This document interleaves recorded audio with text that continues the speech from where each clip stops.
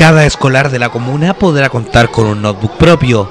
Esa es la consigna con la que se realizó hoy la entrega del proyecto tecnológico de la comuna de Calle Larga, iniciativa que va en beneficio de chicos de segundo a quinto básico de las escuelas municipalizadas del sector.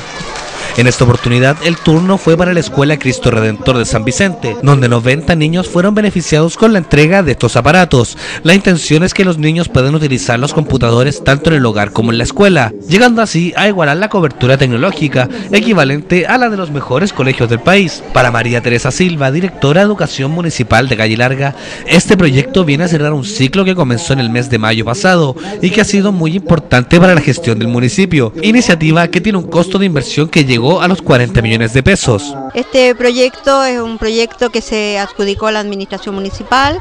Eh, el señor alcalde el año pasado postuló también a estos fondos regionales y se entregaron notebooks a los niños de quinto a octavo. Y ahora se completa toda la enseñanza básica en la comuna de Calle Larga. ¿Número, ¿Usted sabe un número de cuántos son los computadores que se van a entregar el día de hoy?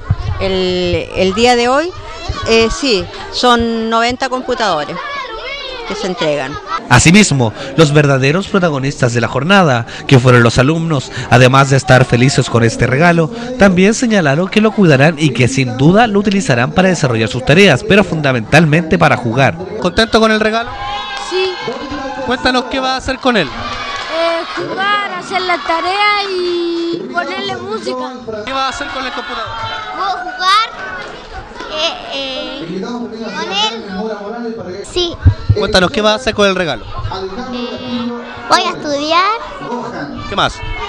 Voy a, a, jugar, a cuidarlo. Los padres se sienten muy felices con este proyecto, planificación que viene a cerrar un ciclo iniciado el año pasado, en la que también se repartieron computadores para los alumnos de los colegios municipales, esa vez desde quinto año hasta octavo básico.